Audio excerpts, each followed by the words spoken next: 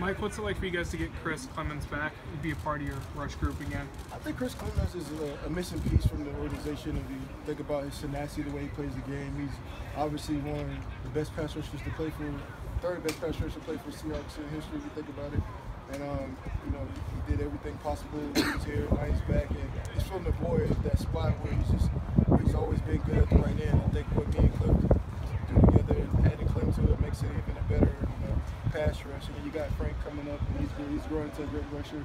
And of course, Jordan has always been Jordan. And we just got to make sure he stays healthy because we get him into some of those pivotal points of the season, he could really help us, you know, over get past those bumps that we need to get past.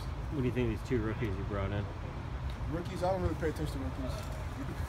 yeah, because I feel like rookies don't have don't even have any scars or any issues, so it's like I just kind of walk past them and tell them to clean up stuff when I get a chance.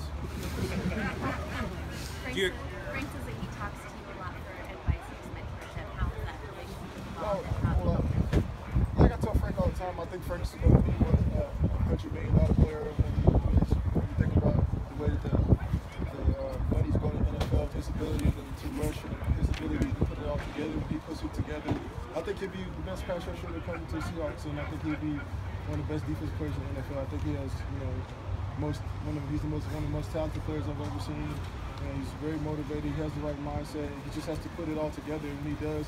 I think he'll be a, he's gonna be an animal. He's already he's so he's already really good. He just has to keep figuring out and keep developing and taking that next step.